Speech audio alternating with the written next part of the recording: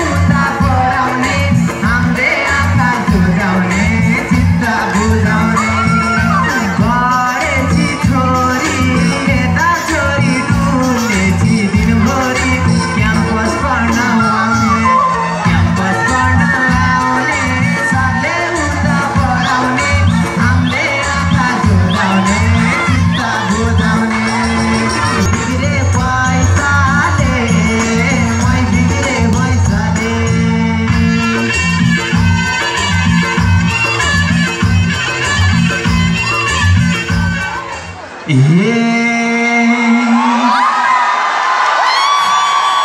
हाम्रो सिस्टर राउन्डमा छ यता त्यही भएर कि? अलि यता हेर न खै खै त कति राम्रा जन्मिन्छन् कोही कोही त।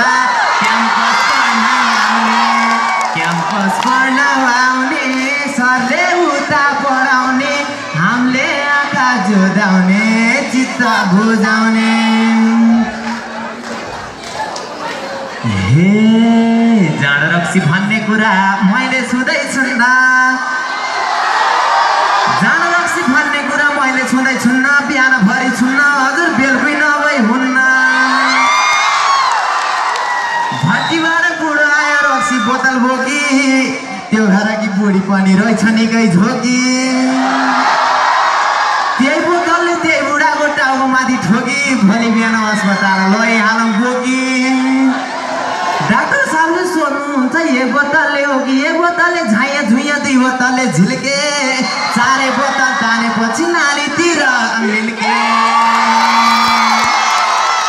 मैले मात्रै के गर्ने के गर्ने रक्सी पार्ने चाहिए या छ मगर